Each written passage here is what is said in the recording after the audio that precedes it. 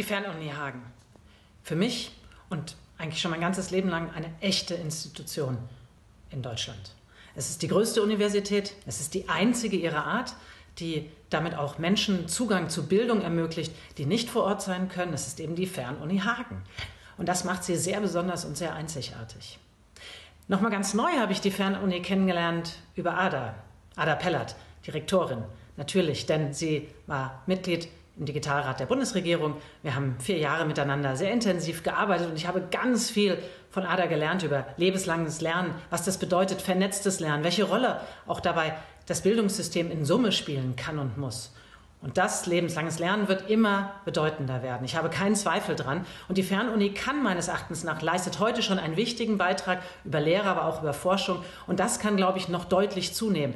Denn gerade die Einzigartigkeit, eben Fernuniversität, aber doch auch mit Satelliten in den Bundesländern, ermöglicht vernetztes Lernen auf völlig neue Art und Weise. Und übrigens weit über die erste universitäre Bildung hinaus, nämlich auch durch Weiterbildung. Und genau das brauchen wir. Lebenslanges Lernen heißt ja, immer wieder sich mit neuen Inhalten beschäftigen. Und in einer schnell drehenden Welt, wo Technologien und andere Dinge immer wieder neu uns herausfordern, uns mit Themen zu beschäftigen, brauchen wir so etwas. Wir brauchen Zugang zu Bildung, zu lebenslanges Lernen. Und ich glaube, die Fernuniversität kann, soll, ja vielleicht muss eine zentrale Rolle dabei spielen.